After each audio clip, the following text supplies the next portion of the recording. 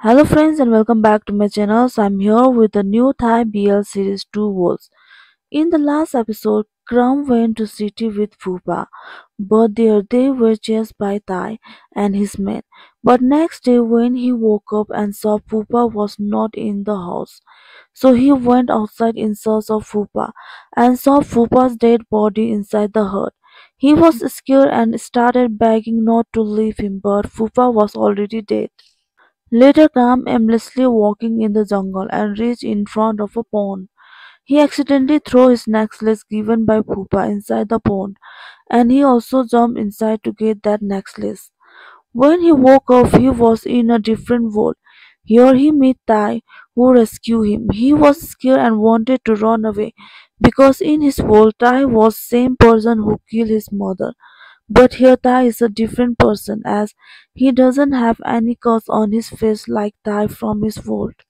Here in Tai world, he seemed like very close to Kram, which Kram had no idea.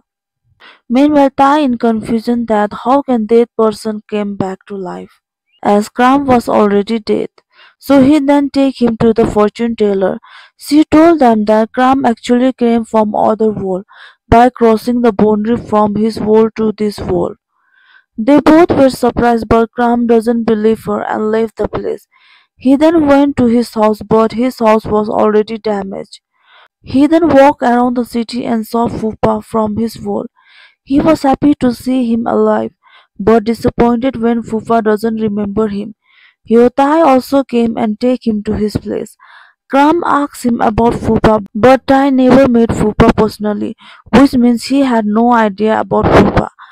But he told Kram that after his death his father also died. Kram felt lonely and felt sad as no one there for him. But I told him to stay with him as he had no other place to go. Later they again went to see fortune teller to know about how Kram can return back to his world. She told them that after three months he can return back, but then Kram started thinking about Fufa's safety. As he had three months so, he asked Tai help in order to save Fufa. But Tai directly told him that he can't. But Kram doesn't lose hope. He keeps trying in order to convince Tai to help him. And finally, to see Kram effort, he got ready. Following day, Kram planned to give interview for a job in Kumpha with the help of Tai. During the interview, Fufa doesn't like Kram answer and asks him to leave the interview. Bertram bring his aunt Lu name and told Fufa that if he hire him then he will help him to convince his aunt to sell her land on Moon Shadow Valley. Fufa quickly got ready and hired him. Later, Kram accidentally hugged Tai and thanked him for helping him. So that's the end of the episode. Thank you for watching my video.